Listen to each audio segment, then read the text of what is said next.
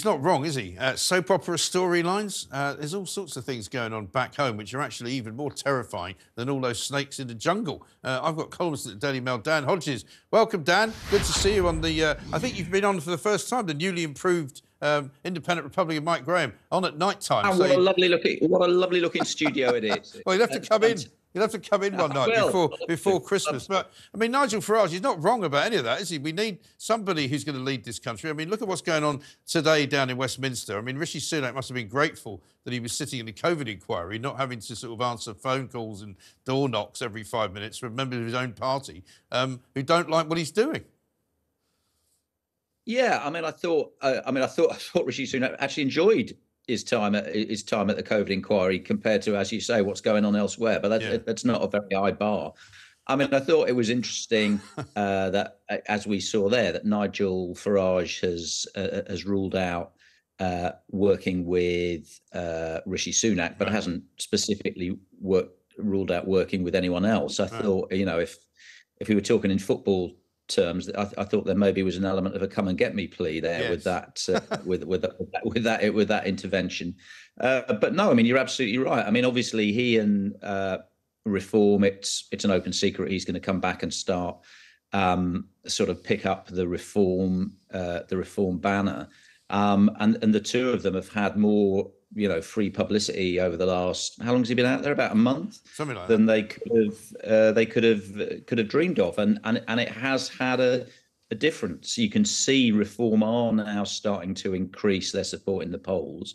And frankly that is absolutely terrifying Tory MPs yeah because the only outcome for that really must be the loss of Tory seats because you don't see reform winning a lot under this current system that we've got but they could sort of stymie the Tories from getting in well, that's absolutely right. Obviously, it's the situation we saw just in the run up to the last election. At that point, Nigel Farage was persuaded to effectively sort of stand down mm.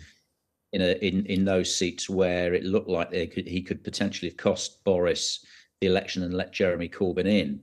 But the the problem for the Tories is that is just not going to happen this time. I mean, I was speaking to uh, senior officials from from Reform last week, and they were very, very explicit. They were saying, "We are going to kill the Tory party. We are going to take them out and take them out for good." I mean, somebody said to me, "We're seeing the last days of the last majority Tory administration of our lifetimes," and that is the strategy. Mm. So unless they can do something to, as it were, you know, let's let's be blunt about it, buy off Nigel or buy off reform or do some sort of deal with reform or do some sort of pact, then they are in a very, very perilous political state because they're in a bad enough they're in a bad enough state anyway before Nigel Farage entered the jungle and reform started to, to, to pick up.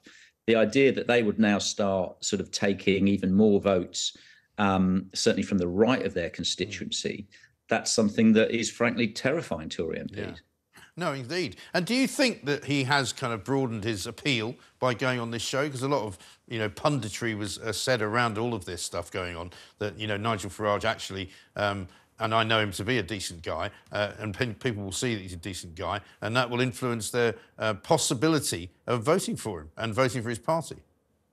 Well, yes. I mean, the, the, the answer is yes. I mean, you've only got to look at the fact that he, you know, he came th- third in, you know, what is you know, effectively the biggest public opinion poll um, that's that we that we've got going. I mean, when he went in, obviously a lot of people were trying to rubbish him, belittle him, you know, say it would, it would all turn into a disaster for him. Uh, obviously, the opposite has been true, and it's you know it's given him uh, given him and and reform a, a very major boost. And I think the thing is now, reform have basically cut through they're, they're, basically they're regularly now breaking double digit figures yeah. in the polls. They're regularly ahead of the ahead of the Lib Dems. You can't really when when when this happens, it's very hard to get the genie back into the bottle. And I, I, I and, and particularly for Rishi Sunak. Now, it may well be, and we've seen it before, that come come polling day, uh, a number of people may draw back. But certainly for the next few months, re- reform are going to be in the in the ascendancy that obviously in the short term has has serious implications for Rishi Sunak and his premiership. It also actually has serious implications for the timing of the next general election because I, have seen a number of commentators saying, well, it's it's more likely now Rishi Sunak or, and or the Tories will another Tory leader will wait, try and play it long, wait till October, but they can't afford to do that if Reform are picking up votes week after week, month after month. And the other thing they it seems to me at the moment they can't afford would be to have a, a have a local election campaign next next May, right. in which you know Reform sweep the country as we've seen them do in, in, in, in the run up to previous elections and obviously UKIP in terms of European elections. Yeah. Well, this is the thing. I mean, it's the uh, this week is I think the four year anniversary, isn't it, of the 2019 election? I still remember that very clearly. Nobody really quite believed that the uh, uh, the majority of the Tories ended up with would would happen. I don't think there was any pundit who was not quite surprised by that because Jeremy Corbyn looked like he was going to do quite well at one point in the evening before the polls closed. Um, didn't turn out that way.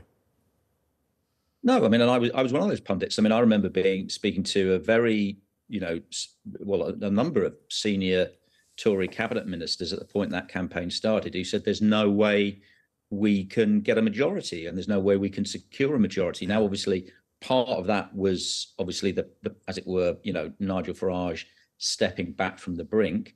Obviously, the other thing was was, was Boris and the mm. effectiveness of Boris on the campaign trail, which is why obviously we in the Mail on Sunday were reporting this weekend why Tory MPs incredible, yeah, though it may sound and crazy though it may sound, why why a small but significant number of Tory MPs are now starting to talk about is there any way, is there any route that we can get we can get Boris back as leader? And is there? Well, they they seem to think too. Sort of sort of allies of Boris Johnson have, have, have effectively put forward two, two, two scenarios. One is the high risk strategy. You parachute him into a by election, see if he can get. Back that way. But it would have to be such a rock solid Tory seat because, as we've seen, they're not holding by elections where they've got majorities of twenty thousand plus. Mm. The other, even more incredible theory is that basically Rishi Sunak is deposed. A Boris ally then takes over as interim prime, prime minister. Yeah. But as prime minister only, Boris Johnson takes over as Tory party leader. And the Tory, um, my understanding is the Tory party rules don't stipulate the leader has to be a member of parliament. He takes over as leader, runs for a seat in that general election as the sort of the the the, the, the figurehead right. prime minister, if you like and that's how they get him back in. Now, again, as I say, it, it sounds fantastical, but they are basically clutching at straws. Yeah. Now. Well, that's a proper Trojan horse, that one. I mean, I've also heard one that involves Cameron suddenly being given a sort of, you talk about football analogies, kind of caretaker uh, prime minister job uh, to get through the next tournament. well, yeah, but the trouble with that theory, though, is obviously David Cameron has the same problem that Boris Johnson has. You couldn't have a prime minister in the Lords. It, it, the Prime Minister would have to be a member of, of, of Parliament.